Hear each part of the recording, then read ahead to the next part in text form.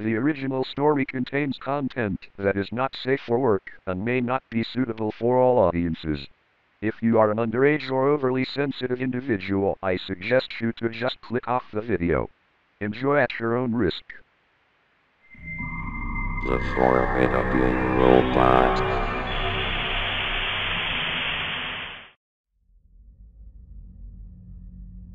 This is a true story that happened in the ZDoom forums in the year 2013. At that time, there was a forum user called Zygo, who was apparently a big fan of horror games that address psychological issues, like Silent Hill for example. This is not something very unusual to find in the community of fans, as many people ask for mods with these themes. And considering this is Doom we are talking about, some people may prefer the horror atmosphere of Doom 3, or the original PlayStation port of Doom. Several users attempted to create mods inspired by Silent Hill and similar themes. If there's anything in psychological horror that seems to captivate people, it's causing them to feel a genuine fear that is born within you, much stronger than simple images of monsters can create. But nobody could have expected something like the more macabre and unsettling WAD created by Zygo, called Root Pain. The post was literally just an attachment image of his project's logo, with all capitalized text reading, no information provided. And a link to the download was all the topic, recently created on the ZDoom forums. Zygo didn't say anything more, letting the players find out that it was Soon, users started to comment that the mod was disturbing, including people who said they wouldn't sleep well at night after playing this mod. Before I begin, Zygo originally was an avid forum member, more so a pretty normal guy. He was originally working on a mod themed after the video game Blood, called in all caps, Possessed, which was sadly canned, due to him reportedly losing all of his progress.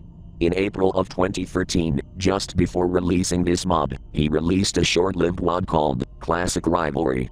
Essentially, this WAD was meant to compete with Terminus Est13's Samsara project, in being a similar mod starring FPS heroes and material, from an assortment of different games from Doom to Duke Nukem 3D, all the way to Killing Time. It was heavily criticized for being unbalanced, and he ended up having an egotistical response towards his criticism. It's also worth noting that Zygo, since 2014, had been banned from the forum for unknown reasons. All this created a mystical aura around the mod, as if it were something that would be hidden forever, unless one checked it out for themselves. Root pain had awakened my curiosity by causing a certain feeling of revulsion in the other users that is not uncommon to see if this was a screamer or something completely different. For the confused, screamers are those typical videos, in which a frightening picture emerges of anything on the screen, with an exaggeratedly high scream. Back on topic, there was something uniquely grotesque in that mod, and I soon would find out what it was. I decided not to read anything past the first page of the thread, so I wouldn't spoil my experience. After downloading the WAD and starting the game, I opened up the menu to find only three options Start, Epilogues, and Escape. a pun on the word escape, how original, I know. I decided to explore each of these bottom up option. Escape would be the equivalent to quit game, except that the only confirmation message that seemed to be configured to appear was, it will live. That made me assume that the mod's intention was to kill something specific. But what would it be? Was this something like Cutman Mike's Ghouls Forest trilogy or something? The epilogue's option was only the configurations options in disguise, and with a limited number of options to choose from. There remained only the start option. I quickly selected it, and for a moment is displayed an image with a symbol that represents the female gender, depicted in a bloody fashion, before the map loaded up. When the game begins, it's noticeable that the scenario represents the inside of a living creature of sorts, both the walls and floor are made of pulsing flesh. There is no sky. Instead, it's this pink, misshapen texture, representing the guts of whatever animal that the player is in. Red blood cells can be seen hovering in front of the player, for the entire length of the map. Moving into contact with any of these cells causes them to drop onto the ground.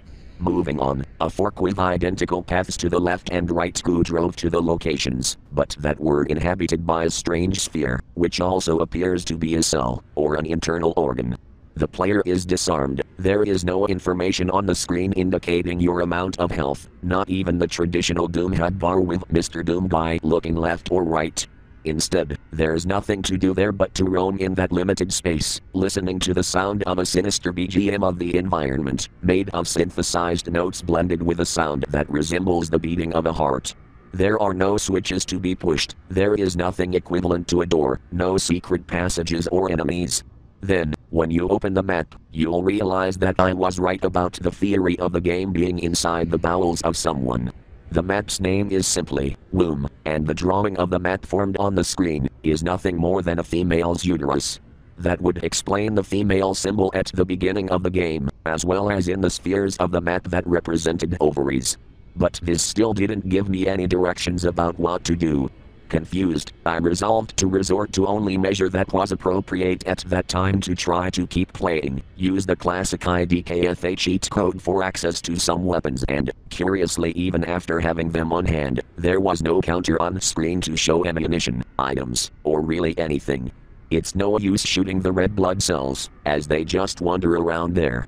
I only have the ovaries, I took the path on the right and, after firing a rocket into the egg, what sounded like a woman screaming in pain could be heard. Suddenly, the whole map started shaking violently, with the ovary exploding into a pool of blood. I repeated the process on the left ovum, which also disposed into a bloody heap, while the whole map shakes, and the moan of terrifying agony is played again. When I decided to return to the beginning of the map, I came across something even more bizarre. Something that nearly made me jump out of my fucking chair. A giant fetus monster of sorts, graduating in the same place where the player starts the game, amid a distorted sound, as it floated toward my direction. The sound was just disgusting, honestly. My reaction was to fire several rockets against this towering and born baby.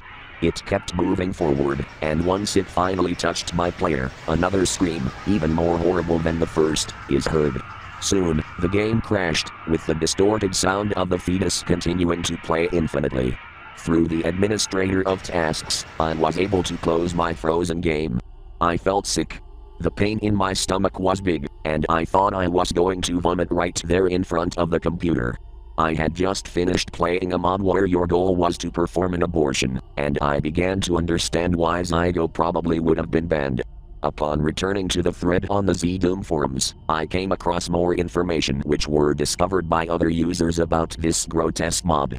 There were secret messages within the file that should appear on the screen when running the usual Doom cheat codes. Things like, you are insterile for IDDQD, or mifepristone added for IDFA, being the name of mifepristone abortion pill. Also, when you tried to get out of the game, there was a chance the confirmation message, Long lives the unborn, would be displayed on the screen. The names of the actors are bizarre to say the least. The player class is no longer Doom player, and becomes a parasite, while the fetus is called Zygo. Yes, Zygo, the name of the creator of this mod. This made things worse in hindsight by being about aborting a fetus. The fetus of the fucking author who made this sick mod. That to me was the sickest thing I had seen in a gaming community. As if that wasn't enough, looking at the properties of the fetus, it's possible to see that their values are absurdly exaggerated, perhaps to make it impossible for the player to kill it by normal means. The fetus is still vulnerable to console commands, such as the MDK, who kills any monster that the player is looking, which triggers this secret message. You have successfully aborted the child, However, one thing called a lot of attention from some forum users. The overall health of Zygo is expressed by this number. 1,215,182,091,514. It could just be a random number, but people were thinking that the number was too specific to be a mere coincidence. Theories continued rolling by the thread of root pain until the user, Pyro Scourge, discovered the meaning of the 12 trillion number. Basically, it wasn't meant to be a single giant number, but an encrypted message. Each of these represents a letter of the alphabet.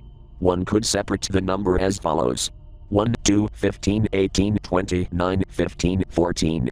Now, if we replace each of these numbers by your respective letter of the alphabet, appears A B O R T I O N. Abortion. All this raised several questions in the thread.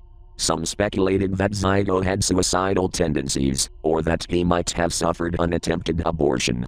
Coincidence or not, the name he gave himself was the resulting cell after fertilization, called zygote, or in English, zygote, which led some people to question whether there was any relationship between the word zygote and the choice of the name Zygo for that user. Others were quite skeptical about the mod in general, some making jokes and others just saying that Zygo wanted attention, especially after the classic rivalry fiasco.